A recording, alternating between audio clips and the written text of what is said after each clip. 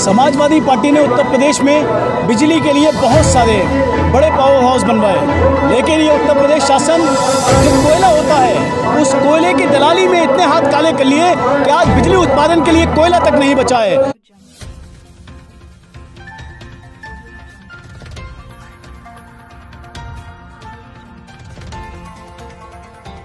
कारवां TV, हर पल आपके साथ। सरकार पर जमकर बरसे सपा नेता, व पूर्व जिला प्रवक्ता हैदर अली। हैदर अली ने कहा, जिस तरीके से प्रदेश में बिजली की किल्लत चल रही है उससे ये मालूम होता है कि प्रदेश में भाजपा सरकार पूरी तरीके से अपनी मनमानी कर रही है। सपा के पूर्व जिला प्रवक्ता हैदर अली ने सरकार पर हमला बोलते हुए कहा, सरकार बिजली व्यवस्था को दुरुस्त नहीं करवा पा रही है समाजवादी पार्टी ने न जाने कितने पावर हाउस बनवाए, जिससे प्रदेश के लोगों को राहत मिल सके।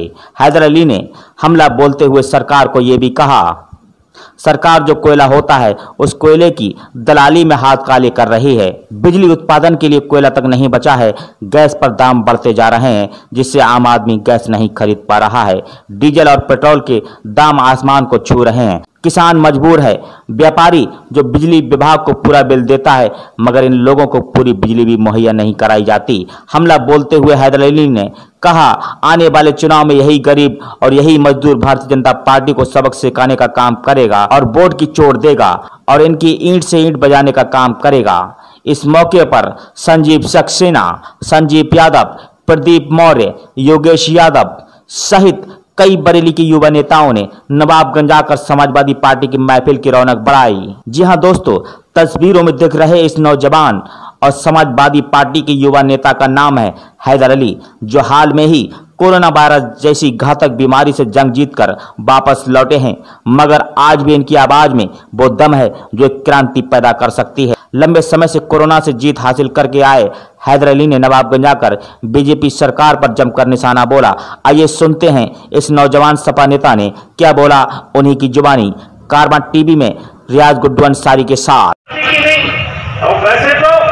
तो युवाओं में राजनीतिक सोच बन जाए, आर्थिक सोच बन जाए, सामाजिक सोच बन जाए भौतिक और आध्यात्मिक सोच बन जाए ये सारी सोचें हैं और यही मनुष्य को ऊंचाई तक ले जाती है। जानना चाहेंगे। जिस तरीके से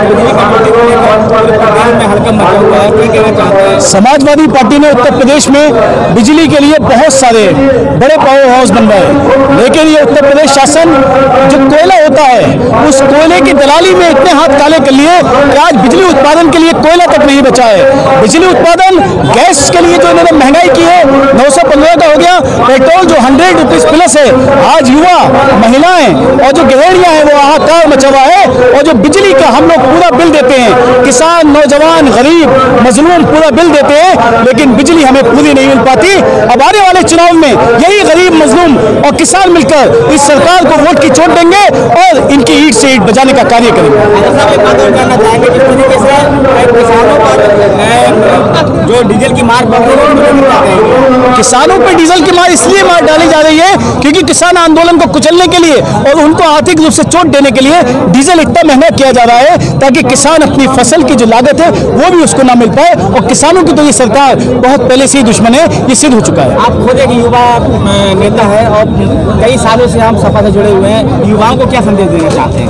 युवाओं को मैं यही संदेश दूँगा कि इस सरकार को उखाड़ फेंकें और युवा सम्मान के लिए राजनीति करें और अपने सम्मान से समझौता ना करें। आज युवाओं के और देश के सम्मान का प्रश्न है राष्ट्रवाद का प्रश्न है और राष्ट्रवाद के लिए इस सरकार को जिसने राष्ट्रवाद के नाम पे झूठे ड्रामे करके सत्ता हत्या ली इन लोगों को उखाड़ फेंक कर अपने राष्ट्र को बचाने का कार्य करें। ये कार्बन टीवी में और एवेन्यू इंडिया बात करने बहुत बहुत शुक्रिया कार्बन टीवी का।